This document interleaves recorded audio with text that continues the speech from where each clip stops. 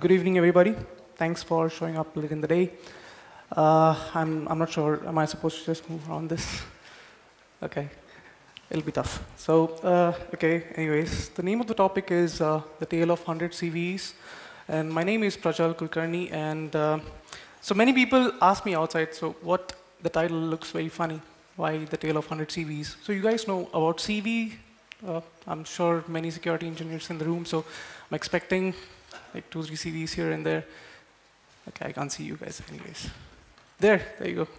So, uh, okay, so CV stands for Common Vulnerability Exposure. So if you find a vulnerability in a product, open source product, or any software, you can report it to CV MITRE and they'll be issuing you a CV for that.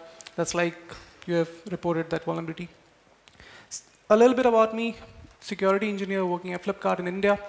It's an e-commerce company. Prior experience of pen testing and uh, likes to bug, bug bounty hunting. Actually, should have been was doing bug, bug, bounty hunting because now that I'm a bit lazy, I've stopped it. But I like, like the dollars which come in for that. And uh, yeah, loves coding in Python. Member of null security community in Goa. And uh, it's, it's one of the biggest communities in India, so I'm part of it.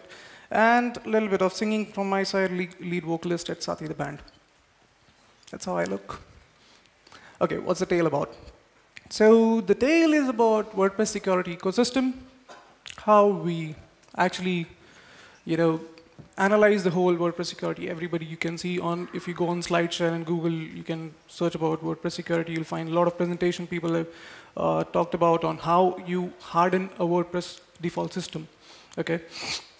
So, uh, for people who don't know WordPress, WordPress is a CMS, content management system you can, uh, you can host your own website. One sec. How many people are actually having WordPress site? Great. Two. Amazing. So you guys will enjoy it. So, uh, so it's about how we analyze the whole WordPress security ecosystem, and we manage to find issues like 100 issues in various various you know areas of WordPress. What exactly it is, we'll talk about in a minute. So WordPress, 60 million websites in the world. Lot. And Matt Says, who's the founder of it, powers one out of every five websites in the world. That's like huge. The current stable version is 3.91 core, and uh, actually it was released this month, May 8th. And if you see the 3.8 downloads were more than 20 million. These are a few stats from Wikipedia. So, okay, talking about the WordPress ecosystem. So what exactly, you know, we'll be looking into will be how we have found out vulnerabilities in various plugins and themes. Okay, so this small, small picture always says many WordPress, WordPress uh, site, site administrators will actually just install a default uh, default system on their on their box, and uh, you know they just forget about security. They don't bother. That actually says grass is always green on the other side of the ecosystem. So why bother? Okay, look at this. You have numbers like 15,000, 1,62,000 WordPress sites used in a DDoS attack. So 45,000 WordPress blogs hacked in second day of spam campaign. So these, these, these are not like smaller numbers, like huge numbers, right? And you might be knowing about the XML RPC ping back vulnerability or, you know, the frame injections or so many vulnerabilities I can name in WordPress installations. And the, the funny part is, if you find one single vulnerability in the core, that's the 3.9 core, you have a number of 60 million websites on the planet. So it's like so many websites. So if this picture was not scary enough, does this scare you? okay, we, we, we criticize him a lot, but he's a good singer. So, I'm sorry. So the WordPress ecosystem consists of WordPress core, as I said, 31,154 plugins and more than 2,500 themes. Okay, so that's a huge number, right? 31,000 themes, plugins, sorry, and 2,500 themes. So this was our attempt to improvise the ecosystem, what things we did, actually. So the story starts here. Once upon a time, Okay, I would like to credit my friend Anand Srivastava, who's also simultaneously working on the project with me. And uh, this was the plugin that he, that he actually used in one of his installations. He runs a, a WordPress site. The name, of the plugin is Portable My, PHP MyAdmin. What actually does is, it allows users to access PHP MyAdmin section directly from the dashboard. So you just have to install this plugin on your WordPress site. It gives you direct console of PHP MyAdmin. But poor guy, he installed it. He wanted to, you know, make things easier. Something went wrong. So he's also a security engineer, and his instincts actually gave him these vulnerabilities. There were full path disclosures, PHP info disclosures, and the biggest one, security bypass allowed direct access. So if you just go on these links, actually if you just have a WordPress installation and you can just go to those links, it actually gives you full access to the features of the SQL window. Because you have a SQL window, you can run queries, SQL queries on it. And the worst part, you don't require authentication. Uh, the scary part was there were like 11,000 websites running online. And uh, yeah, so that's, that's about it. And the, it, it actually bypasses author, uh, authorization because it, it picks up user ID and the password from the config file, wp-config file. Okay? So this is what we did. Actually, he did. He contacted the author somewhere in July. The author was saying, OK, i am going to fix it. I'm going to fix it. Wasted around two months, two, three months. Then he contacted the WordPress security team in September, and it was the plugin was disabled in October. So that's the best part. If you if you find any uh, issue in the plugin or theme, you can contact the author first. You can tell him this is the disclosure I want to do. Fix it. People are getting you know affected. If he doesn't respond, the best way is you can you can con contact the WordPress team. They'll fix it for you. Or they'll just disable the plugin in the repository. Okay. End result plugin closed, CVE issued. That's the checklist, uh, you know, conversation. You can uh, go there, check it out. So this actually started our project, Code Vigilant. I have one surprise for you at the end of the presentation. Uh, this was not actually planned, but we have codevigilant.com online today morning. And all the issues and uh, whatever disclosures we have done, we, we will be able to find it on the website. So so what's, what's, the, what's the point of Code Vigilant? We have, we have to spot new issues in plugins and themes, report them to the relevant author, get it patched, or close the plugin or theme. Okay, That's the basic idea of Code Vigilant. What is required to, you know, to run this project? You just require just three things. Apache, SQL, PHP, and Python 2.7. This was our approach, which was a little idiotic. So we installed the latest version of WordPress, downloaded all these 31,000 plugins, downloaded all themes. Have you downloaded any plugin on your website? Yours is clean, huh? Okay, smart man. So uh, the thing is, if you want to download any plugin on your website, you go to your WordPress installation, and in that search bar, you'll type the name of the plugin, and you download it. But if you want to download it all, all 31,000 themes, how are you going to do it? Okay, the answer is simple.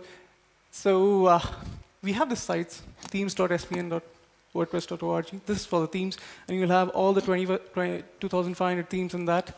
You can actually go for plugins as well, plugins.svn.wordpress.org. You'll find all 31,000 themes. Now it's simple, right? You just write one simple Python script. That's what we did. And download it on your local box. Okay. So the script is pretty simple. We have just used request and beautiful soup. Rest everything is what. So now what? We have 31,000 plugins on our box and 2,500 themes. And the latest version of WordPress running, obviously. Find zero days. Find issues, okay?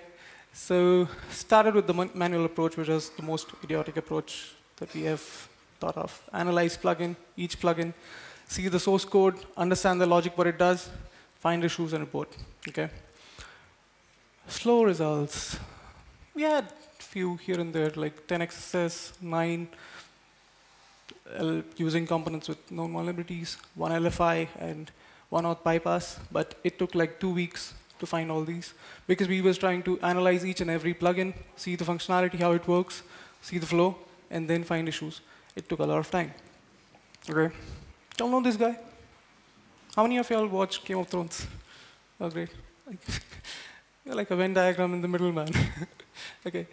So let's automate everything. That was sec the second approach that we applied, and we were quite successful.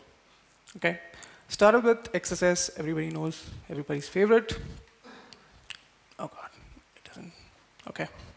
It doesn't look like, okay, this was this, one of the scripts that we wrote in Python, simple logic. It finds all the get uh, parameters, dollar underscore get, replaces their value with this magical thing, whatever it does, just pops up a document cookie, okay? And sends the request with a proper URL structure and checks if the same check string is present in the response. Okay, I actually wanted to show you this, but the resolution is shitty. Okay, anyways. Uh, used again response, urllib2, and beautiful soup, I guess. Okay, so uh, all these, uh, all these uh, scripts will be online on the website. You guys can have a look. And guess what? More than 100 valid XSS. That's it. You just run the script on once. What that script does is it will go through all those 31,000 plugins, each and every file, open it, find the get parameter, find you know, if they are vulnerable, shoot it out in the uh, browser and check if it's vulnerable. And uh, the bonus was, testing for XSS, we stumbled upon a few other issues like SSRF, LFI, and uh, URL redirects. That was like a bonus, we didn't expect that. But uh, great, we, we had uh, good issues, number of issues there. And uh, yeah, even we kept WordPress busy a lot. The guy who was actually the point of contact for us was very, very yelling at us, kind of. Okay, this was the stats for the next three weeks. Cross-site scripting, 211. Actually, uh, uh, when I applied for conference, we had just like 110 issues, but now in three weeks we have more. And uh, current st stats will be will will have uh, released in the second phase of it. This is just the first phase of Code Vigilant, what we have uh, done, and we are planning a lot more in the second phase. So you can see the stats. It's it's actually good to see. Look at, look at this. Oh yeah, the best part. 70% were closed. We reported to the authors. We reported to uh, WordPress. WordPress was uh, the second option, but authors didn't respond to a few of our uh, queries. And then the second option was go to WordPress plugin. And they responded, they closed it in the plugin repository. So all those plugins that we have reported, we won't, you won't be finding it in the WordPress repository section. Okay. Few of our duplicates here and there, earlier reported by someone else. That's how codevigilant.com looks. We have uh, the disclosure section. RSS home feed is not working currently. You can, if you guys have systems, then just open up Code Vigilant. You'll be able to see that. And uh, yeah, currently we have like uh, 70 different issues in the disclosure section we, are, we have open. And by next week, start, I think all 267 issues will be online. You can have a look. Okay, the future for Code Vigilant. We just started with WordPress, but uh, now we have automation. We want to have automation frameworks for other vulnerabilities like uh, SQL or LFI. We don't have currently. We're working on it. We've made some good progress. And uh, explore other platforms like Drupal and Joomla and of course encourage external researchers to contribute. So that's that's a main area we'll be looking into. We would want other researchers to help us, you know, fine tuning. Uh, there are there are currently many scripts that we have written. Most of us, mo most of them require some fine tuning, and uh, currently they are all private Bitbucket repository, and uh, we are looking for other external researchers to help us in doing that. So another week or so, it will be online on Code Vigilant. That's that's that's my friend, Anant. So he, if you can, if you guys want to, you know, actually contribute, you can just put me a mail or Anant drop a Twitter message. We can help you guys on that. Okay. Any questions?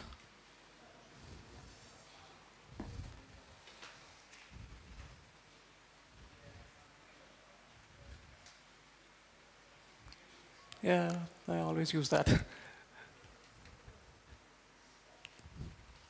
Okay, uh, no questions, then let me just give you a look. Small uh, point which probably I might have missed. So many many people ask me, well, like if plugin installing plugins and themes, you'll find so many issues. Then why to trust WordPress? WordPress in itself, the code is very stable. The team is very active. They respond to issues very fast, and it's very tough, trust me, to find an issue in WordPress core. Okay, so you have plugins and themes to just, you know, help you in beautifying your WordPress site or whatever. But uh, make sure whenever you install a plugin or a theme, those themes and plugins are from trusted sources. When I mean trusted sources, don't go for the paid ones. It doesn't mean that they are trusted.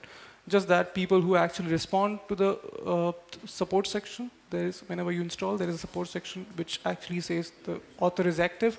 If any vulnerability is found in that section, the author will respond and he'll fix it.